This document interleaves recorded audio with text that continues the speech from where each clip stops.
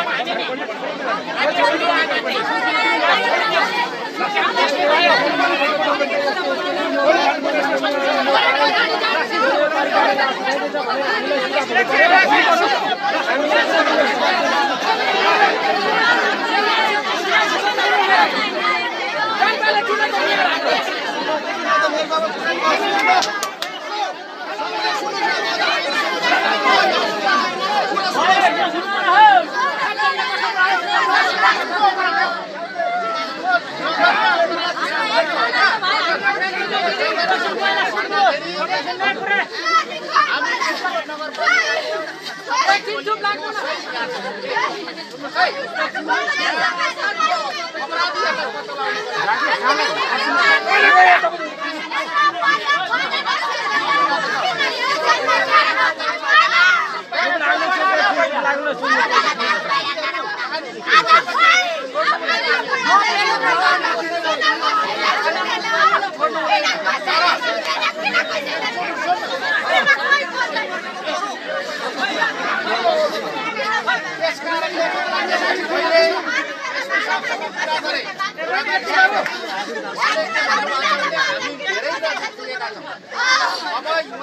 उहाँहरूले यहीँ बसेर मैले पनि भनेको छु उहाँहरूको नियममा भन्नुभएको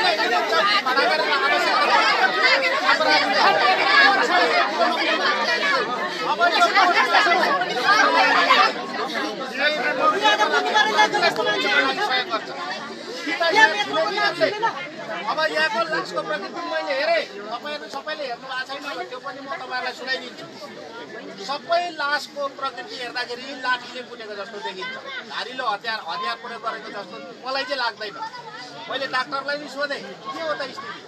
भन्दाखेरि चाहिँ धारिलो हतियार छैन भनिसकेपछि यत्रो हल्ला भयो यहाँ यत्रो लडाइँ भयो छ छजना मान्छे मरिरहेछ छिमेकीहरू कसैलाई थाहा छैन।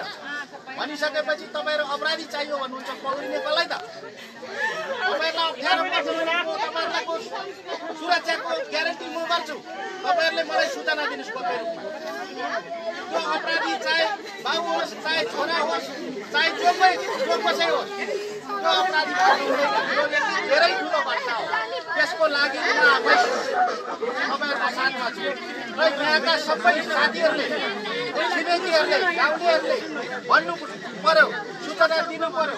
तपाईँहरूलाई डर लाग्छ भने यदि तपाईँहरूलाई शङ्का छ भने मलाई भन्नुहोस् तपाईँहरूको सुरक्षा गर्ने जिम्मा मेरो भयो म त्यो अपराधीलाई छोडिदिन्छु हाम्रो सबै टिमले साह्रै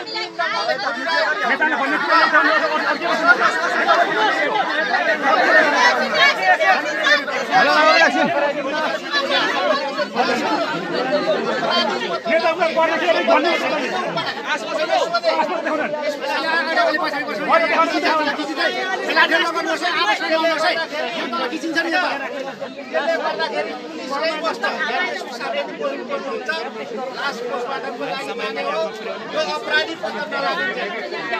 अपराधीलाई यिनै बसेर अनुसन्धान अनुसन्धान गर्ने हो हामी सबैले सहयोग गर्नुपर्छ। गर्नुपर्छ। हामी सबैले सहयोग गर्नुपर्छ। अनि चाँडोभन्दा चाँडो हामीले अपराधी अनि यत्रो जघन्य घट- घटना घटेको छ यो दुःख लाग्दो घटना छ। हामी सबै जोडिन्छौँ यहाँ घर परिवारहरू रोइरहेको भएको छ होइन धेरै चाहिँ छ। त्यसले गर्दाखेरि हामीले उहाँहरूलाई चाहिँ पोस्टमार्टम किन हो भन्नु होला भन्दाखेरि अपराधी पुनको लागि पोस्टमार्टम अन्यथा होइन पोस्टमार्टम तपाईँहरूले पोस्टमार्टम भनेको चाहिँ कति बजे घटना भयो पोस्टमार्टमबाट कति घन्टा अगाडिको लास हो त यो भन्ने पोस्टमार्टम तपाईँको त्यो त्यो टाइममा चाहिँ को कहाँ कहाँ मान्छेहरू थिए। गाउँलेहरूलाई मैले त गाउँलेहरूले अप्ठ्यारो नमानी हक नमानी पुलिस प्रशासनलाई सहयोग गर्न पनि म तपाईँहरूको मेयरको हिसाबले म अनुरोध गर्न चाहन्छु।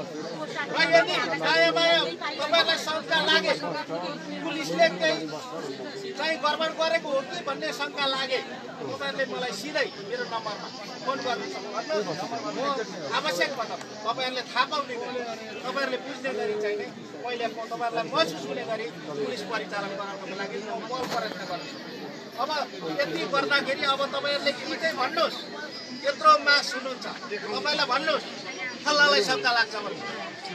अहिले एकैछिन। यत्रो मासले भन्नुहोस् फल्ला फल्ला भरलाई शङ्का लाग्छ भन्नुहोस्।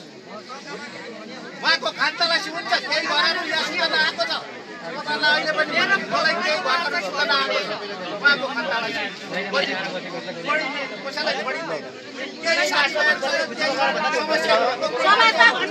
छोडिँदैन केही भन्नु मिल्दैन त्यसले गर्दा मैले सबैलाई अनुरोध गरेँ यसमा हामी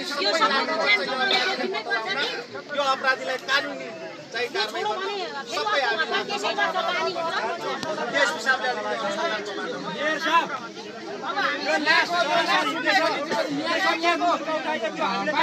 सुरक्षित अहिले तत्काल हुन्छ हुँदैन छ अवस्था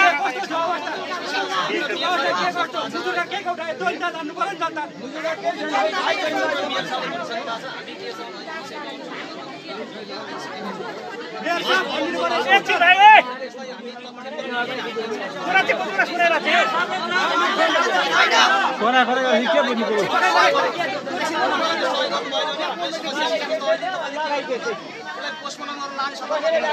पोस्टमार्टम गर्न